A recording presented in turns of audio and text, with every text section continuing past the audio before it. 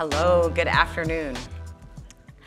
I am super excited to be here. This is my first SIGGRAPH speech. Uh, I've been coming to SIGGRAPH since 2007, uh, so this is a huge honor. Um, I'm so glad to share it with you. Um, I'm a little giddy, so uh, really excited. Um, in 2007, when I first came to SIGGRAPH, uh, I came from the East Coast. I was at School of Visual Arts, and um, I was in grad school there. And 12 years later, here we are in Los Angeles. It's the city I call home, home of the beautiful Hollywood Hills, home of the Hollywood sign, and home of the Hollywood stars. I bet you thought it was a different star, but it's these stars. These stars are the night sky over Los Angeles, and specifically, these stars are the night sky over Griffith Observatory. Griffith Observatory and Friends of the Observatory is a joint partnership that has brought together uh, a new planetarium show, as Sarah mentioned. Uh, and uh, I am one of two producers. The other producer is here in the room. His name is Bob Niemak, and one of our executive producers is here as well, Camille Lombardo.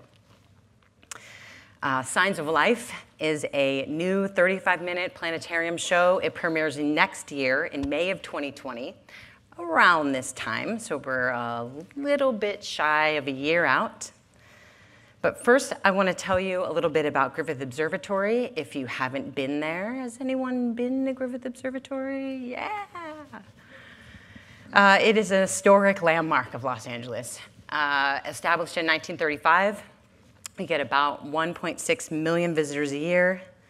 It is owned and operated by the City of Los Angeles and the Department of Recreation and Parks.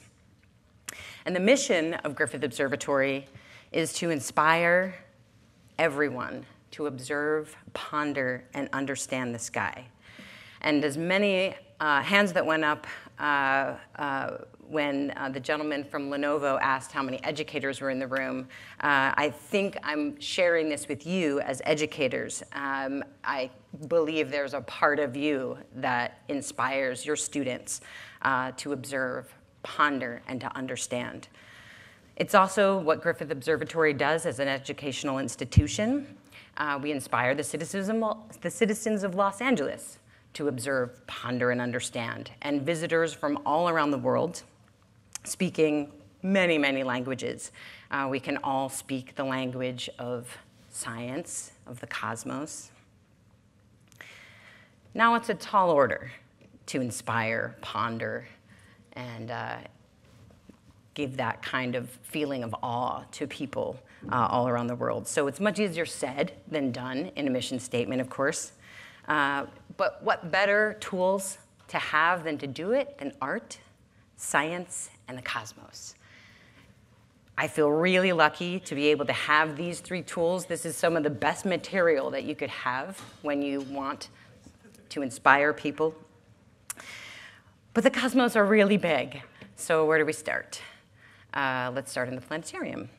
The planetarium at Griffith Observatory is a state of the art facility. It uh, has a 76 foot immersive dome. When you walk into this space, it is overwhelming and breath will leave you breathless. Uh, it is uses 8K projection at 60 frames a second and uh, has 28.2 surround sound. But there's two things that make it really, really special.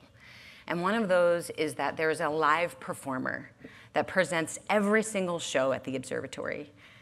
And the second thing that makes it really special, and I'm going to geek out on you for a second here, is the Zeiss Universarium Mark IX star projector. This star projector is like no other in the world. There aren't that many that are in use. But here at Griffith Observatory, it elevates from the center of the planetarium during the show and if you haven't ever seen a dark sky, if you've lived in urban cities most of your life with a lot of light pollution, this is as good as it gets. The optics on the star projector are stellar.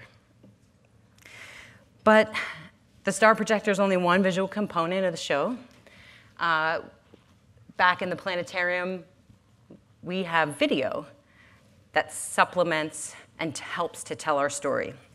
To create this video uh, and project it into the 76 foot dome, we use six projectors that blend 24 image channels to create a dome master, which is what you see here, into one seamless image. So if you imagine taking this dome master and kind of putting it over your head like an umbrella, this is the image format that we create in order to project it into the planetarium.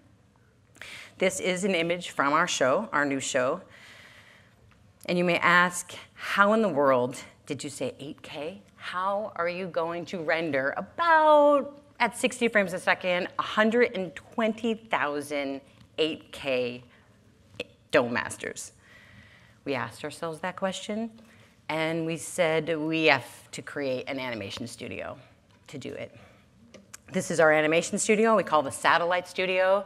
Uh, it uh, was uh, there was a space that the observatory had that was renovated, and um, uh, we moved in about uh, two and a half years ago. We have a mini moon. This mini moon is a fraction the size of the Samuel Oschin Planetarium. It's about 15 feet wide. But we also knew we were going to need a lot of machine power uh, to render these images and that many, and a lot of talented people. This is our team, and a lot of science advisors, and a lot of technical partners. Our technical partners, such as the Foundry, have been invaluable to us. Uh, starting out, building a pipeline, building a team, one of the things that we needed were the software, as most of you know in this room, that was available to us as a nonprofit. With all of this,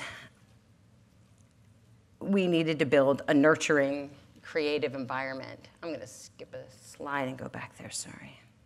Uh, so I said we were about a year out. We're currently in the throes of production. If anyone uh, here has been in production or uh, has sent their students to production um, or had a kitchen rebuilt in your house or something like that, you know what it's like to be in the middle of it. Um, you've planned, you've prepped. Uh, there's a, a lot of things that you didn't plan for, that you didn't prep for, but hopefully uh, you uh, have a great team. Uh, I think as educators, creating an environment uh, that students are able to fail and are able to ask questions. Uh, by the time they get to a studio that they're working together, they feel comfortable to collaborate. And the collaboration is what really makes great images come out in the end. So we're putting out final frames in our show, and I want to share one with you. Uh, this is a frame we call Sat 10 is the name of the shot. And uh, this is a uh, preview uh, from our production tracking software, Shotgun. Uh, this is a compressed dome master that you're seeing here. Uh, and so I've prepared an image for us to look at a little closer. This is hot off the press, first time that anyone is seeing this image, especially for you guys, first here at SIGGRAPH. And so what you might recognize is Saturn. Uh, we're out in our solar system, but what you might not recognize in the foreground is Enceladus. Enceladus is a moon of Saturn. And as we say in the show, Saturn has dozens of moons. And one of them is putting on a show that grabbed NASA's attention.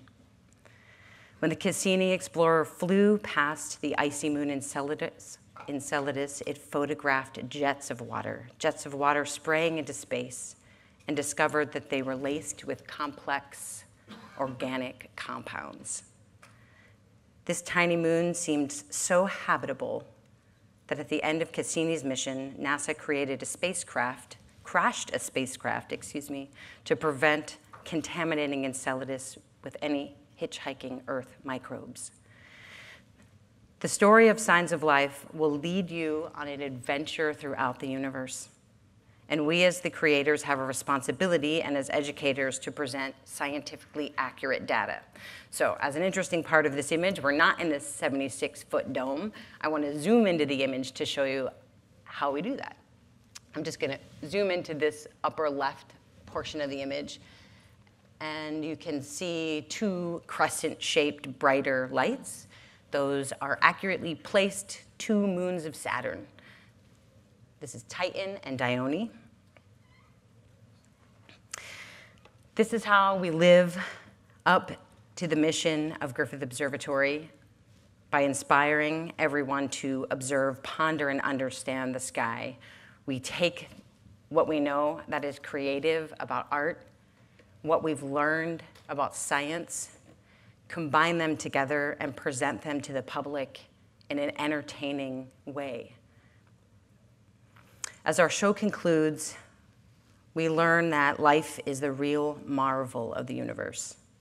And the iron in our blood, the calcium in our bones, were made in the stars. And every atom in our DNA is a product of nearly 14 billion years of cosmic evolution. And that's the story that's written in the sky, this sky. It's not a story about aliens. It's not a story about if we're alone, although we might speculate a bit. It's really a story about what it took to put life into the universe. I want to thank you all for being here and thank the Foundry and SIGGRAPH for having us, uh, providing this platform. And I hope you'll come and see Signs of Life, new planetarium show at Griffith Observatory.